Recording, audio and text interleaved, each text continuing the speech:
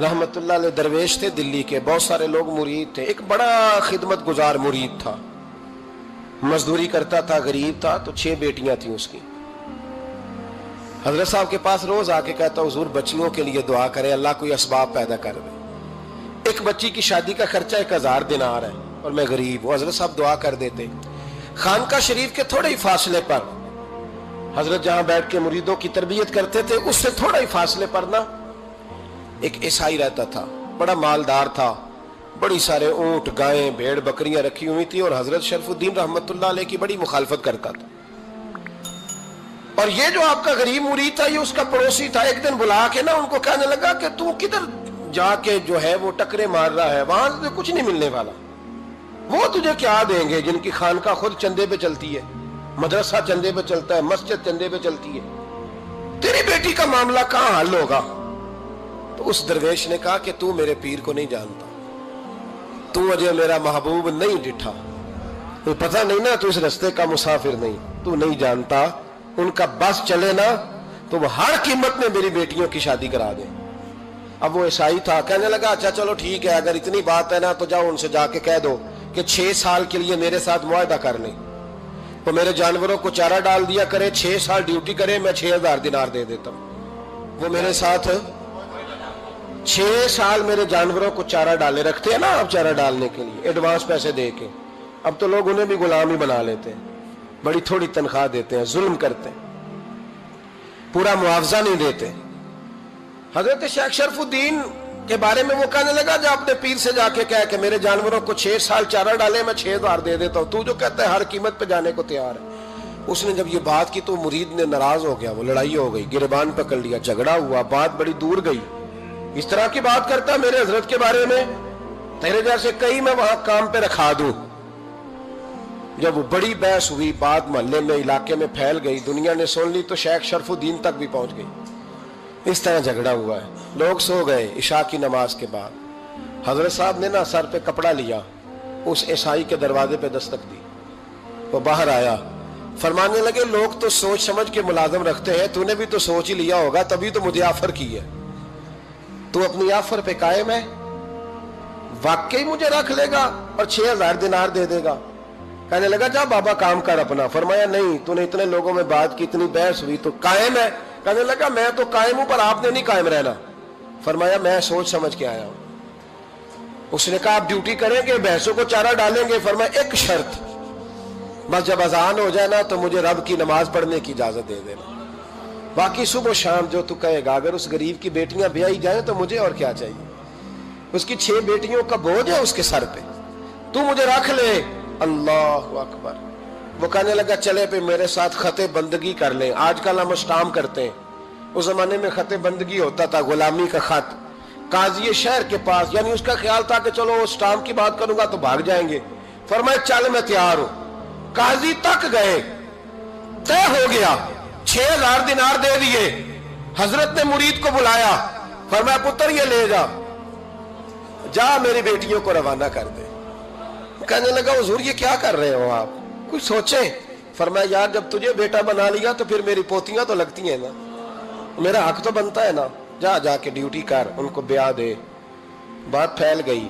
बादशाह भी अकीदतमंद था। वो बारह हज़ार दिनार लेके पहुँचा। क्या बताऊँ, इन रब के बंदों का दिल कैसा होता है? क्या दर्द होता है? क्या रंग बारह हज़ार दिनार लेके बादशाह आया और आके हज़रत को पेश किए का हजूर, आप दें इस ईसाई को डबल दें और जाए, काम करें। आप फरमाने लगे, तू पैसे दे, शर्तें ना लगा। मेरा जहाँ दिल करेगा, मैं खर्च करूँगा। मुझे तो मज़ा ही अब आने लगा है। अभी तो अभी तो लुत्फ आ रहा है। अभी तो जायका आया है कुछ करने का। पैसे देने हैं तो दे। पाबंदी ना लगा, जहाँ मेरा दिल करेगा, मैं उसने कहा, हजूर, ठीक है, रख ले। हज़रत ने फजर मस्जिद में पढ़ी, जेब में बारह हज़ार दिनार थे, ऐलान फरमाया भी किसी और की बेटी भी बैठी है तो पैसे मेरे पास है। वो बारह हज़ार दिनार भी बांट दिया, और बारह हज़ार दिनार बांट के ना तो फिर चले गए खेत में चारा काटने। उस ईसाई को किसी ने बतलाया कि उनके पास तो बारह हज़ार आया है, पर तुझसे जान नहीं छुड़ाई उन्होंने। वादा ये हुआ था कि छह देंगे तो जाएँगे, जब तक देंगे नहीं, तेरे घर में काम करेंगे। वो ना चारा काट रहे थे, हज़रत साहब तो वहाँ पहुँच गया। दूर जाके खड़ा हो गया। कहने लगा, बाबा, पहले तो मैंने मुसलमानों के इखलाक सुने थे, अब तो मैंने देख भी लिए।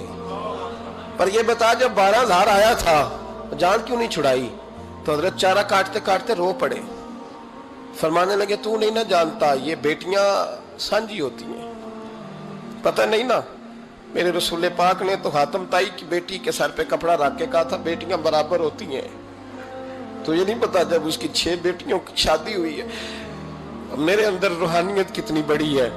फरमा फिर बारह हज़ार आया है तो दो चार बच्चियाँ फिर गई हैं। तो ये नहीं पता मैं अंदर से राज़ी कितना हूँ। मैं तेरी नौकरी करता रहूँगा। पता नहीं अल्लाह कितनी बेटियों को ब्याह देगा। इतना रोया वो ईसाई के पैरों में बैठ गया, कहने लगा, बाबा, मैंने तेरी मुखालफत की है, पर तेरे करीब आके पता चला है। कि तू बहुत ऊँचे इखलाक का मालिक है। और अगर तेरा ये मकाम है तो तुझे इखलाक सिखाने वाले मोहम्मद अरबी की शान कितनी होगी? जालिम की, बोलिए, जाते नहीं लोग झूठे गवाह बन के? वकील साहब को नहीं पता होता कि ये बंदा मुजरिम है जो मेरे पास आया। क्या मुजरिमों के वकील नहीं होते? बोले तो उसको पता नहीं होता वकील साहब को कि ये साहब मुजरम है मेरे पास मुकदमा लेके आए और अगर बेअदबी ना हो जाए तो मेरा ख्याल है काजी अदालत को भी पता होता है कि मुजरिम कौन है और मजलूम। मेरे नबी पाक सल्लल्लाहु अलैहि वसल्लम ने इस कदर ज़्यादा सख्ती फरमाई इस मसले में, फरमाया जिसको पता था कि फुला आदमी जालिम है, जुल्म कर रहा फिर वो जालिम का गवाह बना या उसने जालिम की मदद की? कितनी की? शारहीन लिखते हैं, चाहे उसने एक जुमला बोल के की। चाहे एक, सारे बोलिए, चाहे एक गरीब को उसने जुल्म किया तो कहते लाज ये चाहे एक जुमला बोल के की, शारहीन सदीस की शराह में लिखते एक जुमला बोल के चाहे मदद की, जिस बंदे ने किसी जालिम की मदद की, किसी मुकदमे में या किसी सूरत में, और उसे पता था ये जालम है मेरे नबी पाक सल्लल्लाहु अलैहि वसल्लम फरमाते हैं, अगर उसने मदद की, अभी जालिम की बात नहीं हो रही, जालिम के मददगार की बात हो रही। अगर किसी ने जालिम की मदद की तो हुजूर फरमाते हैं, खुदा भी उससे बरी जिम्मा है, रसूल भी उससे बरी जिम्मा है। संभाल के रखे अपनी नमाजें, कुर्बानियाँ, आज जक़ात, संभाल के रखे। अगर जालिमों का मददगार है इलेक्शन आ लेने दे, आपको नज़र आ जाएगा कौन कौन जालिमों का मददगार है। नज़र आ जाए, अपनी जेब से लोग पैसे दे के जालिमों की मदद करेंगे। उनके फ्लैक्स छपवाएँगे बोर्ड लगवाएँगे, जेबों से पैसे देंगे हमने खुद आग लगाई है चमन में अपने। बेसबब गर्दशी अयाम को इल्ज़ाम न दो। हमने खुद नूर का जुलमत से किया है सौदा। करके तो ही ने शहर शाम को इल्ज़ाम न दो। जालिमों के मददगार मैदान में आ गए। ये छोटा लफ्ज नहीं मेरे हबीब पाक सल्लल्लाहु अलैहि वसल्लम ने फरमाया, जो जालिम का मददगार है, सुन ले। सुन ले जो सज्जन के साथ कचहरी जाता है। वो याद रखे जो दोस्त का गवाह बनता है। वो याद रखे जो कहता है, मैं मांगी गया था। मुझे बुलाया गया था कब्जा छुड़ाने के लिए किसी गरीब, बेवा की जायदाद पे कब वो सुन ले। तू मदद करके नहीं आया। तू खुदा के जिम्मे से निकल गया रसूल पाक ने फरमाया, तेरा मेरा ताल्लुक खत्म हो गया। तू जालिम का मददगार हो गया फिर तू कहता, मैं बेचैन हूँ, मैं बेकरार हूँ, मैं मैं आजमाइश का शिकार हूँ। पलट के देख तो सही, तेरा गुनाह कितना बड़ा है। मेरे नबी पाक सल्लल्लाहु अलैहि का एक और फरमान सुनने इब्ने माजा अबू दाऊद में मौजूद है। इस हदीस को आपने याद कर लेना कर लेंगे इंशाला सारे कहिए इंशाला कर लेंगे याद? हुजूर सल्लल्लाहु अलैहि वसल्लम ने फरमाया, अगर तू जालिम की मदद करेगा ना, ये लफ्ज दिल की तख्ती पे लिख लेना। ये मुकफात अमल है। मुकफात अमल दुनिया। इधर करोगे तो उधर भरोगे। फरमाया, अगर तू किसी जालिम की मदद करेगा, सुन ले, हुजूर का फरमान है। अगर तू इब्ने माजा अबू दाऊद से आम में मौजूद है, फरमाया, अगर तू किसी जालिम की मदद करेगा तो रब ताला मरने से पहले पहले तेरे ऊपर भी जालिम को मुसलित कर देगा। तेरे ऊपर भी एक दफ़ा जुल्म ज़रूर होगा, अगर तू जालिम की। वो किसी सूरत में भी हो सकता है, किसी सूरत में भी। तेरा बेटा ही उठ के जुल्म कर देगा। तू उलझ जाएगा। किसी न किसी जगह तेरे लिए तबाही का सामान होगा, तेरे ऊपर जुल्म होगा, इसलिए कि तू जालिमों का मददगार है। चाहिए यह था कि तू मजलूम की मदद करता, इंसानी, ईमानी, यकीन का फरीजा सर अंजाम देता। तू जालिमों का मददगार हो गया। टटोल के देख लें, रिज़ल्ट निकाल के देख लें, हमारे जमाने में जालिमों के मददगार ज़्यादा है। इतनी इतनी लंबी जुबानें निकाल के जालिमों की मदद करते बड़े बड़े कालम नवीस अल्लाह ने उन्हें कुदरत दी लिखने की।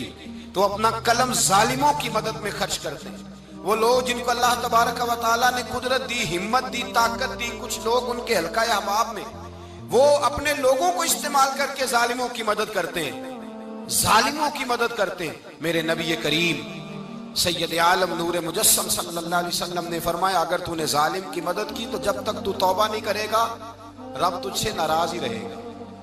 अल्लाह तुझसे, ओ भाई जिससे रब भी नाराज़ हो गया न खाना, न पीना, न सोना, न जागना, न नींद। फिर तेरी हर चीज़ तेरे लिए आजमाइश हो जाएगी। फिर तेरा साया भी तेरे लिए खौफ का सामान बनेगा। फिर ज़िंदगी जीती जागती लाश बन जाएगी तो अपने कंधों पर अपनी मैयत उठाए फिरेगा। जब तू जालिम का मददगार होगा, और नबी पाक सल्लल्लाहु अलैहि वसल्लम ने फरमाया, जालिमों का मददगार भी जालिम होता है। जालिमों का मददगार भी, सारे बोले, जालिमों का मददगार भी नहीं को नहीं आप सारे नहीं बोले एक दफ़ा बोले, जालिमों का मददगार भी पक्की बात है। जालिमों का मददगार भी। अल्लाह जिसका यराना हो जिसका दोस्ताना हो, जो कहे, मैंने ना इसको औखे वेले के लिए जालिम को याद रखा हुआ है। कभी मुश्किल में रखे नहीं हुए लोगों ने जालिम दोस्त। कहते, मैंने रखे हुए हैं, बल्कि हमारे देहात में तो कहते हैं, मैंने बाजू बनाए हुए हैं। किसको बाजू बना लिया? जालिम भी कभी बाजू होता है। जो जुल्म की तलवार लिए मैदान में खड़ा है, कारून, हामान, फिरौन, नमरूद का हाल नहीं लोगों ने देखा। अपने जमाने में आपने कितने लोग नहीं देखे जिनके साय से, आवाज़ से लोग कामते थे? फिर पुलिस की गाड़ियों में वो इस तरह मुर्दा पड़े कि दुनिया ने तमाशा देखा उनका। ये रंग हमने देखे नहीं अपने आँखों से।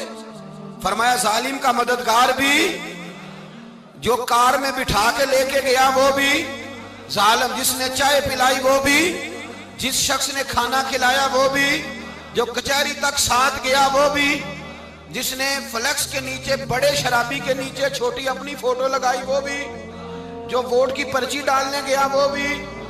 कह देना बाहर निकल के कि हज़रत साहब ने सियासी तकरीर की है। कह देना, पर बात तो सच्ची है ना। खूगरे हम तो से थोड़ा सा गिला भी सुन ले। खूगरे हम तो थोड़ा सा भी गिला। इमाम मालक के पास एक बंदा आया, उसने कहा, हुजूर, मैं दर्जी हूँ। एक जालिम बादशाह मुझसे कपड़े सिलवाता है, मैं तो जालिमों का मददगार नहीं ना। एक जालिम बादशाह मुझसे, हुजूर, मैं तो मददगार नहीं ना जालिमों का। जो फरमाया, जालिमों का मददगार भी जालिम होता है तो कपड़े लेके आता है, मैं सी के दे देता हूँ। ज़िम्मेदारी नहीं ये एक आदमी दुकानदार है, उससे कोई बंदा चीज़ खरीदने आएगा तो थोड़ी कहेगा, मैंने नहीं देनी। तो देगा। कोई बंदा अगर किसी शख्स से कोई काम कहता है, जो उसकी फ़ील्ड है, उसका शोबा है, उसका मुआश का वो सिलसिला है, कहते हैं, या रसूल अल्लाह सल्लल्लाहु अलैहि वसल्लम, जालिमों का मददगार भी जालिम हुजूर ने फरमा दिया। तो इमाम मालिक से बंदे ने मसला पूछा, दिल की तख्ती पे लिखने वाली बातें हैं। कहा, हुजूर, मैं दर्जी हूँ, जालिम कपड़े सिलवाते हैं। मैं तो मददगार नहीं ना? इमाम साहब कहने लगे, नहीं, मददगार तो वो होगा जो तुझे सुई धागा फराम करेगा। तू तो पूरे कपड़े सी के देता तू तो खुद बहुत बड़ा जालिम है। तो पूरे सूट सी के देता है, तू तो बहुत बड़ा जालिम खुद है। मददगार तो वो होगा जो तुझे धागा देगा, जो तुझे बटन देगा, जो तुझे नलकी देगा।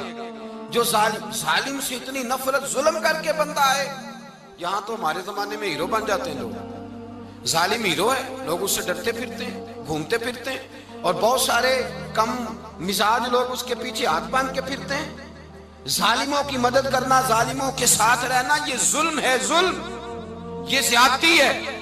मेरे नबी पाक सल्लल्लाहु अलैहि वसल्लम ने इरशाद फरमाया, याद रखो, रब फरमाता है, मैं मजलूम की मदद ज़रूर करूँगा।